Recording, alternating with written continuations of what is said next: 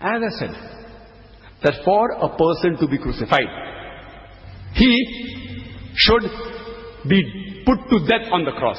If he does not die on the cross, he is not crucified. There are some people who may say, let's see here the main part of the sign is not dead or alive, it's the time factor, time factor. You know, three days and three nights, as Jonah was in the belly of the whale, so shall the Son of Man be three days and three nights. Three is mentioned four times. The main important emphasis is three, three, three. It is not dead or alive. I say, what is so unique about three? If I say, I took three days and three nights to reach Delhi, is it a miracle? What is so miracle about three? Three days or three weeks? It's not a miracle. But they say, no, it is a time factor. Let's analyze whether Jesus Christ, peace be upon him, fulfills the time factor which the Christians, some Christians say, is the main theme of the sign. As I said earlier, and we know that when we ask the Christians that when was Jesus Christ, peace be upon him, crucified? And according to the Bible, the Christians will say, on a Good Friday. So we ask him, what is so good about the Friday? They say, Jesus Christ, peace be upon him, died for our sins. Therefore, it's a Good Friday. And if you read that it was, the trial was in a hurry, they were hurry for the trial, they were in a hurry to put him up on the cross, they were hurry to get him down, because as Pastor said, no one can stay overnight hanging on the cross on the Sabbath, according to, he didn't mention the reference, Deuteronomy chapter number 21, verse number 23. The land will get cursed. So they were hurry to get him down. And they give the burial bath, and it is by the time late in the evening. He's put in the sepulchre late in the evening. And according to Gospel of John chapter 20 verse 1, it was the first day of the week, Sunday morning, that the tomb was found empty by Mary Magdalene. So supposedly, Jesus was in the tomb on Friday night. Why do I say supposedly? Because the Bible does not say when does Jesus leave the tomb. Maybe he left on Friday late night or Saturday morning. It doesn't say. Agreeing that latest he might have left is in early morning on Sunday. So Jesus was in the tomb Friday night. Supposedly. He was there in the tomb Saturday day. Supposedly. He was there in the tomb Saturday night. Supposedly. Sunday morning, the tomb is empty. So he was there for two nights and one day. But the sign says three days and three nights.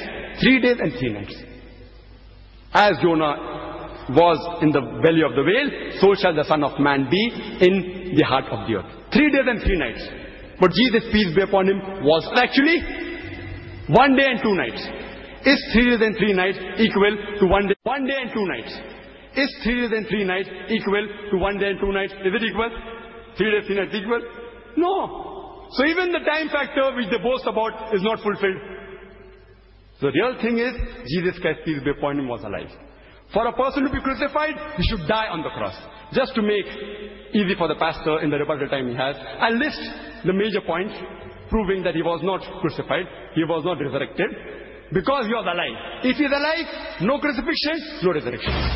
He was put on the cross and brought down very fast in three hours. In three hours, it's difficult for a person to die. Therefore, Jesus was alive.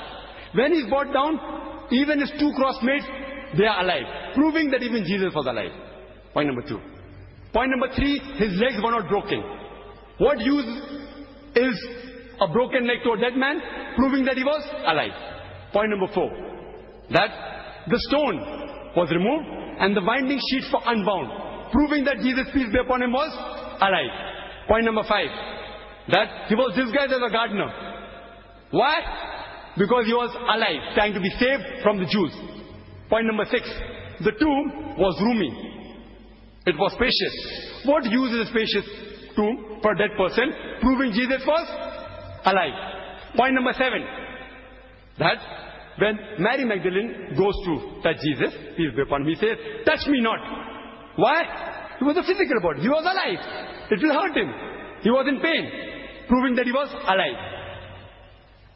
Jesus, peace be upon him, says that I have not yet ascended unto my Father. That means he was alive. Point number nine, Mary Magdalene, not after recognizing Jesus, peace be upon him.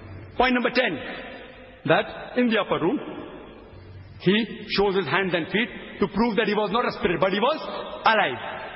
Point number 11, that they were overjoyed to see him. Why? Because they thought he's dead and the spirit form. They were overjoyed to see because he was alive. Point number 12. He ate a piece of broiled fish and honeycomb to prove that he was alive. The disciples had heard from Mary Magdalene that he was alive. Point number 14.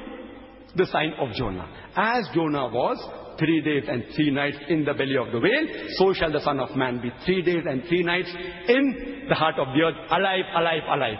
If he's alive, no crucifixion, no resurrection. So in short, Jesus Christ, peace be upon him, was put on the cross, according to the Bible, but he did not die. Now, the topic is that was Christ really crucified? If he's put on the cross and if he dies, he is crucified. If he's put on the cross and does not die, what is one word that we'll use? See, English language is deficient. If you look up in the dictionary for a word for a person who's put on the cross but does not die, you will not find any word. So we have to coin new word. The best word that we can coin is that Jesus Christ, peace be upon him, was not crucified, but he was crucificted.